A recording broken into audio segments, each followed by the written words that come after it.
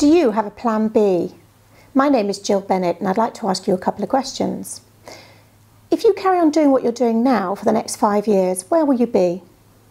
And if your main source of income were to dry up tomorrow, how long could you survive on your savings? I worked for the Foreign Office for many years and I travelled the world and I loved my job. But when I had my children, my role changed and I decided to take some time out.